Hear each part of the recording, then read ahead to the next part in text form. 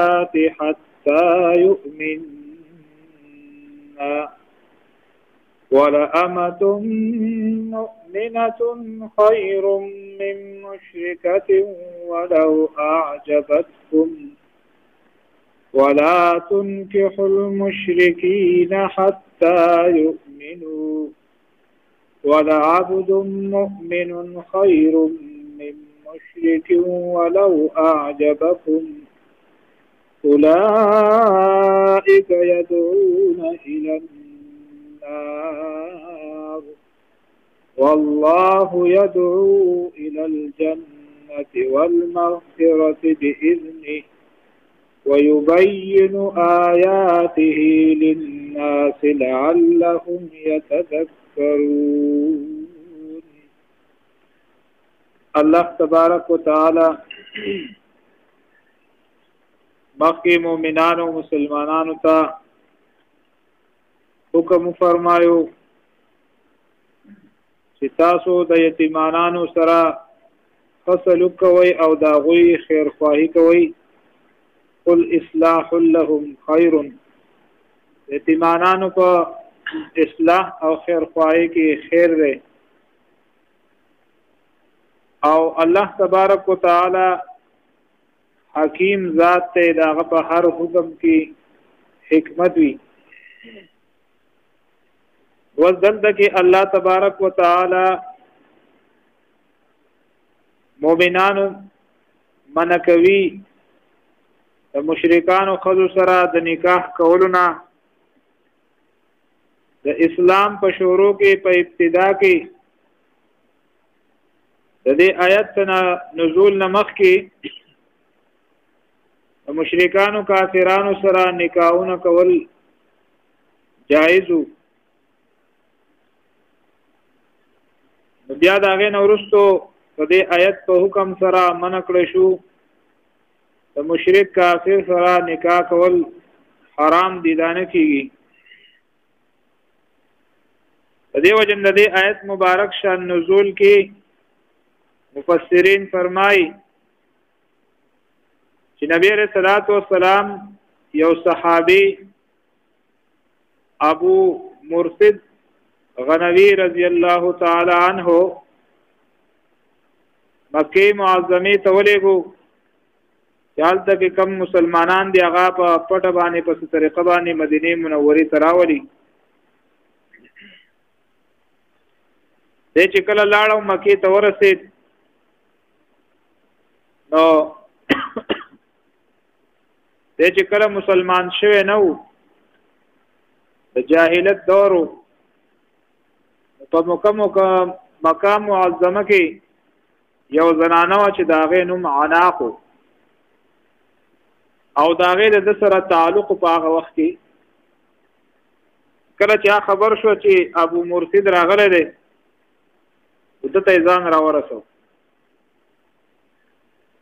دته وی چې څنګه حال لې دوانا چرته ځان لکی ګنا چې خپل خواهش پوره کو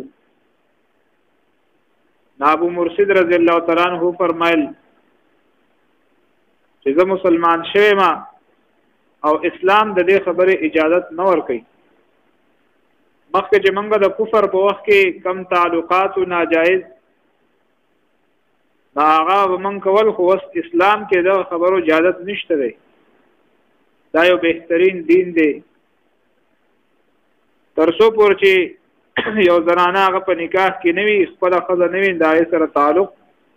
دا سره ملاقات وغیرہ دا بالکل ناجایز او حرام دي نو انا کوته زما سره نکاح وکړه نبی رسول الله دا ابو مرشد رضی الله تعالی عنہ تو فرمایل چې زه به د نبی رسول الله والسلام نه تاسو کوم اجازه بواله ما چې هغه ما تاسو سره د نکاح کولو اجازه راکې او کنه راکې هغه اجازه راکو به زه تاسو سره نکاح وکم دی خاصه ما په بار کې به تاسو مشورې کې او تاسو نه بکې او بیا به مدینه ته ځیو څومره انتظار زمانه کړی چی چغه چغاره وره هان زوګه وکړو خلک راجمه کو او خلکو ته وی چې دا داسې زما د عزت لوټ کولو کوشش کړی دی په خلکو باندې ووهو په هر حال ابو مرسد غنوی رضی الله تعالی عنہ چې کله خپل کار پوره کو او د مکې نه مدینه ته واپس لاړ بیا نبی رسول الله صلوات والسلام ته د خپل حالات او دا واقعا د عناق د ذکر کړه الله تبارک وتعالى دا آیت مبارک نازل کړو چې ولا تنكحوا المشركات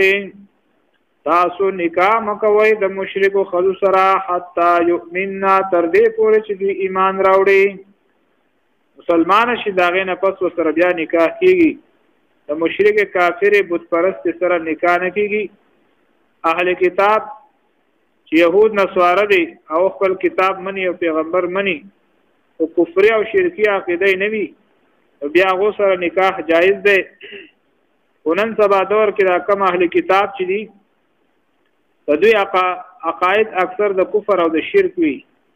د دې وجه نه که اهل کتاب دی او که غیر اهل کتاب دی چې دغه عقیده د کفر شرک او د بت پرستی وي او دا غو سره هیڅ کله هم نکاح نه کیږي دا شان یو صحابي او چې داغه ویل دا دیو ته قارشه او غوسه شو نو نبی علیہ السلام ته وی چې ما د خپل وینځه دوه تقارشه ما وهلې ده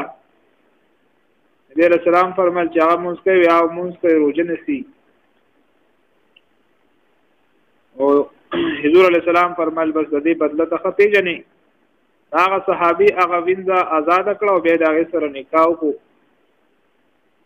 نو خلکو وو تبعی باندې پیغور ورکو چې تا یو وینځه او ستا وینځه بیا دې آزاد کړ او واده غست په نکاح باندې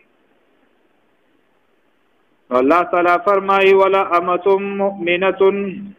او یو وینځه وخاب وینځي غلامان دا به خرڅېدو مؤمنتون چې هغه مؤمن وي ایماندار وي خیرون دا غره ده بهتره ده من مشرکتن د مشرکی کافر خزنا ولو اعجبتکم اگر کدا کافر خزا په تعجب کې واچې تاسو حیران کې تاسو په خپل حسن سره په خپل مال او دولت سره کافر اگر که حسین او جمیل وی خیسته وی او مالدار وی خداغه نه غریب فقیره مؤمنه مسلمان خدا چې هغه د رنگ رنگت په لحاظ سره هم کولی نوی هغه ته بهتره ده نبی علیہ الصلوۃ والسلام فرمایي انکحوهن لحسنهن ولحسبهن ولمالهن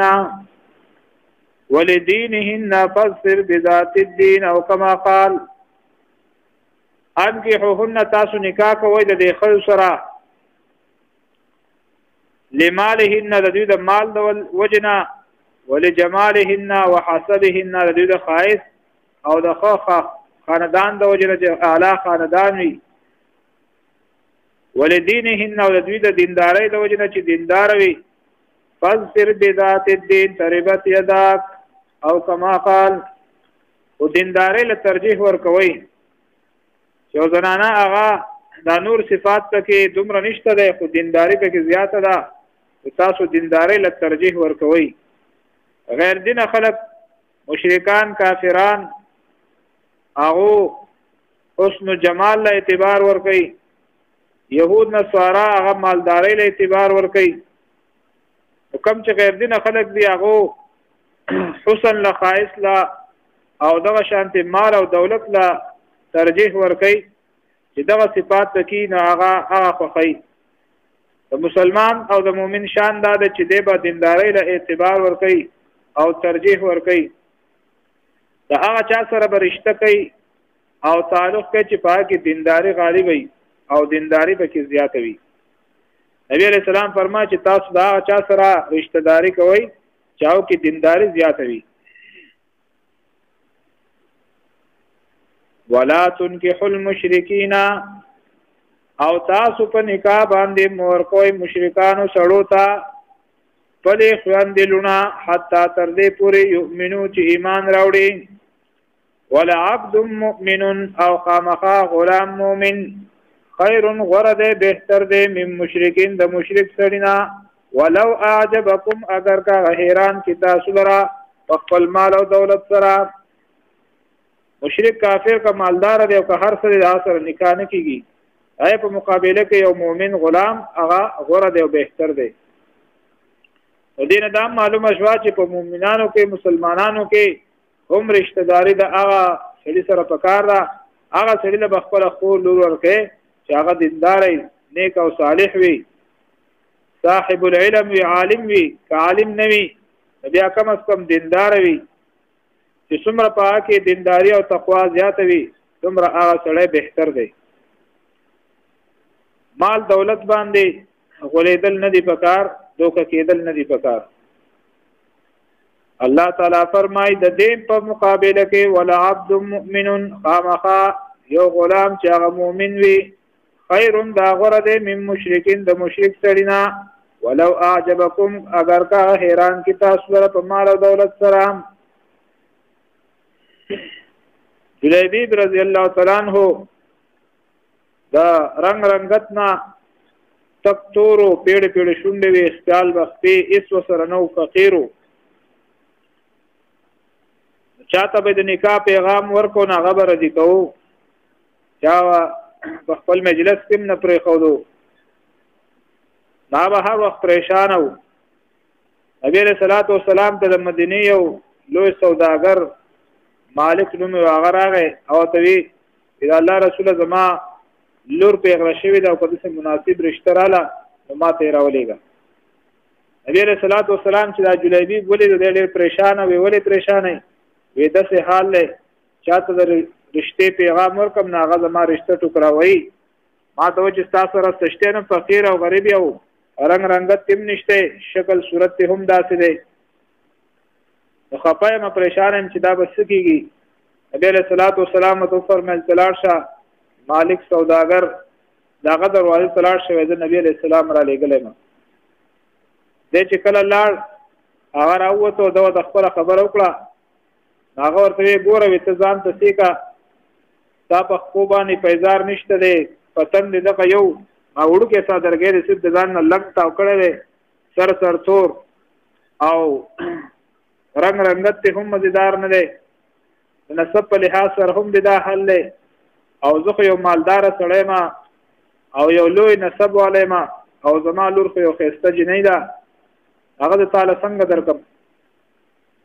بیا کله چې د سوداګر کور والا خځې بیبي خبرې واورېدې هغې هم دغه جواب وکړو چې موږ خو دې سړي له خپل خور نش خپل لور نشو ورکولای او دا نشو ورکولای هغه لور چې کله دا خبرې واورېدې هغه د خپل مور پلار ته وی ای بابا جان ته دې سړی ته د جلیبیب دې رنگ رنگت ته مګورا د مال او دولت ته مګورا او ته دې ته وګوره چې دی را لېږلی چا دی دا د دواړو جانو سردار محمد رسول الله صلی الله علیه وسلم زمون پیغمبر را لېګل دی او کله چې نبی علیہ السلام دی را لېګل لري دی زما قبول لې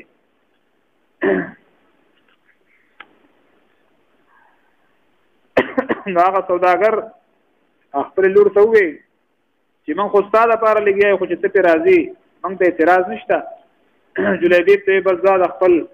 واده پروګرام کوا او ستا کار شوی دی جلیبی خوشاله شو لاړ نبی علیہ السلام په لاړ خو د الله رسوله او دا ګر خبر هم نه لو اختیارې کوا ما سره سنشتا نبی علیہ الصلوۃ والسلام ته فرمایل او عثمان رضی الله عنه په لاړ شه عمر او بکر صدیق ته په لاړ شه عبدالرحمن ابن عوف رضی الله عنه دغه صحابه په سلاړ شو داغونه ځان قرض راواخله او خپل واده پیوکا د لار د هر یو صحابي خواله ورزي عثمان رضی الله عنه خواله چې ورغی په 200 درهم غواړم نبی له سلام را لېګلې نو قرض وی ته ول راتلې ما ته بدویل ما به دروړې هغه ول 200 درهم ورکړي بیا د عبدالرحمن ابن عوف رضی الله عنه نور صحابه سره تعاون کو د پیسې را واغستې روپۍ بازار ته راغی د واده سامان اخلي سوزونه اخلي او په دغه موقع کې نبی علیہ الصلوۃ والسلام د احد غزا لاړ جلیبیب رضی الله تعالی عنہ چې وکتل خلک روان دي جنگ لا وسته کوي وی نبی علیہ السلام احد ته لاړ جنگ لا جلیبیب وی ښا وی نبی علیہ السلام با د جهاد په د جنگ په میدان کې د جهاد په میدان کې او جلیبیب وزونه کوي دا چرته کې دی شي هغه د واده په هغه قرض رکو باندې اس واغست توره واغست او ډاله واغست او لاړ او چې لاړ میدان ته ورسېدو په هغه میدان کې شهید شو الله تعالی فرمای ولا عبد مؤمن او خامخا غلام مؤمن خیر غره ده من مشرکین د مشرک سړینا ولو اعجبکم اگر که حیران کی تاسو لرا هغه خپل مال سره اولائک دا خلق یدعونا دوی دعوت ورکی الی النار اور د جهنم تا د خراب سړی د بيدین سړی د گمراه سړی ستا تعلق او رشتہ داری وی ناغه بتا گمراهی طرف تر رابلی هغه طرف ته بدر راکاږي د بيدینی دعوت بدر کوي والله يدعو الله تبارک وتعالى دعوت ورکي د نیکانو خلق صحبت سره او تعلقات سره الى الجنت جنت طرف ته نیک خلق بتا نیکی طرف ته رابلی والمغفرت او بخنه طرف ته باذنه په خپل حکم سره ويبين آياته او الله تعالی بیان آیاتونه خپل للناس خلقتا لعلهم يتذكرون د پاره د دې چې دا خلک عبرت والی نصيحت قبول کړي ولا تنكحوا المشركات تاسو نکاح مکوي د مشرکو خلکو سره حتا یؤمن تر دې پورې چې ایمان راوړي ولا امتن او خامخا وینز مؤمنه مؤمنه خیر دا غره ده من مشرکه د مشرک خزنه ولو اعجبتكم اگر که حیران کی تاسو لرا ولا تنكحوا المشرکین تاسو په نکاح باندې مور کوی مشرکانو سړو ته پر اخوان دی لونه حتی تر دې پورې یؤمنو چې دوی ایمان راوړي ولا عبد مؤمن او خامخا غلام مؤمن خیر دی غره دی من مشرک د مشرک سړینا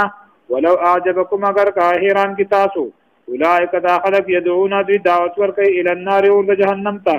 والله والله پاک یدعو دعوت ورکي ال الجنه جنت ته والمغفرة او بخنه ته باذن په خپل حکم باندې